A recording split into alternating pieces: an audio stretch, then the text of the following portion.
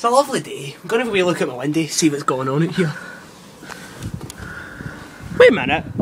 What's that floating in the breeze very, very delicately and carefully? I recognise him.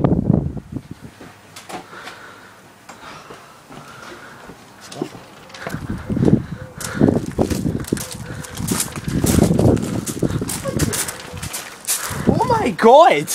Where have you been?